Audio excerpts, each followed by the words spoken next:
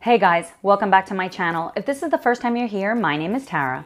I know you guys really love Instant Pot recipes. In particular, dump and go recipes where you just throw everything in and hit start. So today I thought it would be super fun for us to make a miso, ginger, salmon, and Israeli couscous. Both of these are gonna cook at the same time inside of the Instant Pot. And to make it even simpler, we are using frozen salmon.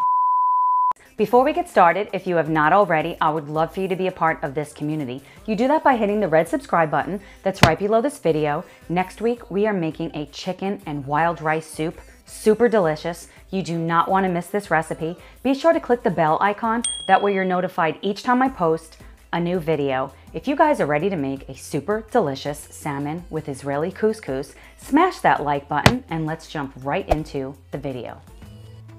Here are all of the ingredients we'll be using today. A complete list will be in the description box below. So we're gonna start by adding some soy sauce, some rice wine, some rice vinegar. This is seasoned rice vinegar, some honey. I've melted this down to make it easier to pour.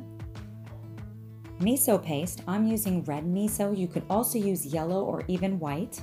Some sriracha. If you don't like heat, then leave this out. And cane sugar. Optional, but I highly recommend it. Then we're gonna grab a piece of fresh ginger and grate it right into the bowl. We're gonna give this a really good stir. Now we're gonna grab our salmon. These are about five ounce completely frozen fillets. I'm adding them to my stainless steel container.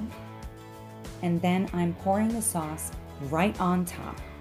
I wanna make sure both pieces of salmon are completely covered with this delicious sauce. Then I'm gonna grab the lid. I'm using a stainless steel container. If you don't have one of these, all you have to do is take some aluminum foil, use a double layer, and place the salmon on individual pieces. Then just pour the sauce on top, fold the packet up nice and tight, and place it on top of the trivet, and it will still be absolutely delicious. Next, I'm gonna make an aluminum foil sling so I can remove this from the Instant Pot when it's done really easily.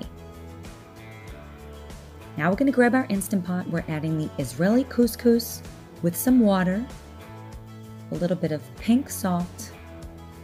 Give everything a stir. Next, we're gonna grab our trivet. We're gonna lower the stainless steel container or whatever you're using into the Instant Pot. Make sure the silicone ring is on. Close the lid and set the Instant Pot to high pressure for four minutes.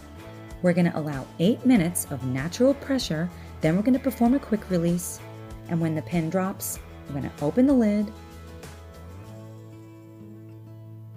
carefully remove the stainless steel container, or if you used foil packets, remove those. Look at this delicious salmon. I'm gonna remove the trivet, and I'm gonna just fluff up this Israeli couscous. Super easy. This recipe meal preps beautifully. It makes about three servings. So what I do is when I'm ready to enjoy it, I remove the spring mix from the container and I just place that container either in the microwave or in an oven if you have access to it. And then when it's warmed up, add the spring mix back on, stir it up, and it will be absolutely delicious. You guys are gonna love this recipe. If you like this video, you guys are gonna wanna check out my Instant Pot recipe playlist. I'm gonna leave it right here for you. Go ahead and click the video on the screen and I will see you over there.